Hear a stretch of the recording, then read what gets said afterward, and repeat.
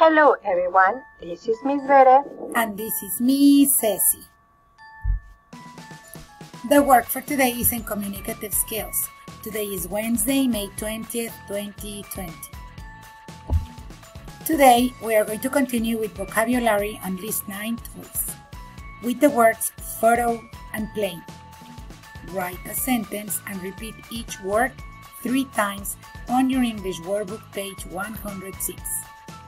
Then on your homework pad or any other notebook, do dictation 16 and the ABC order for those words.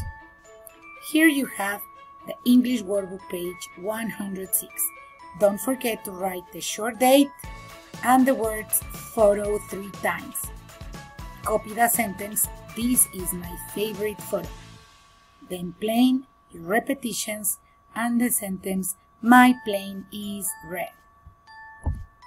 On your homework pad, write the dictation on the Spanish part and the ABC order in the English part. Or you can use any other notebook. Well, that's it for today. See you tomorrow. Goodbye everyone.